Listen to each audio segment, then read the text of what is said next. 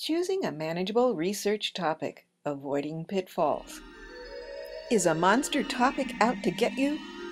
Beginning researchers often pick a broad, general topic thinking that big topics are easier to research. But some topics are just too big. Consider these examples. Global warming, eating disorders, physical fitness, media violence. It's too much! Problems with big topics.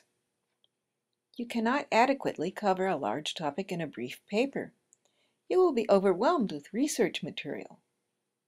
You cannot research or write about a topic if you cannot define it clearly.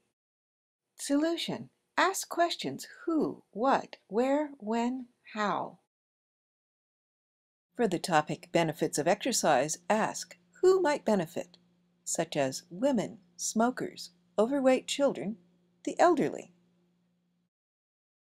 Ask what kind of benefits, such as lose weight, improve mental awareness, reduce stress, lower blood pressure.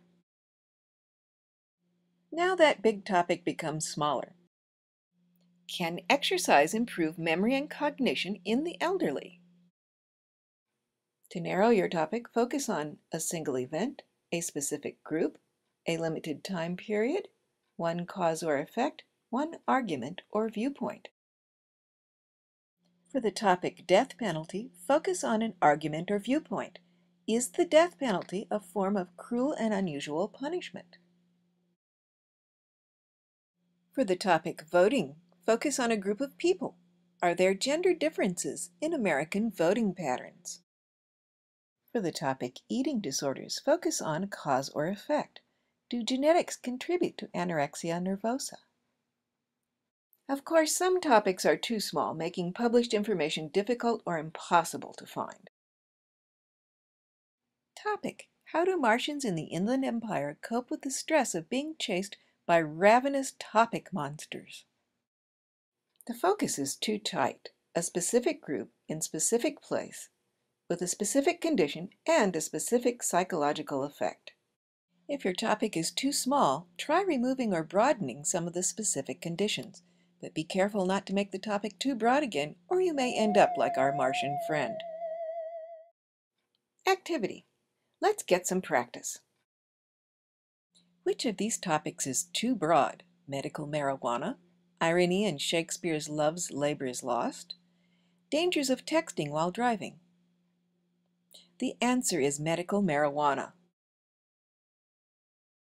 Which of the following is the best way to narrow the topic medical marijuana? medical marijuana for diseases, medical marijuana and medical cocaine, medical marijuana for glaucoma. The answer is medical marijuana for glaucoma. Which of these topics is too narrow?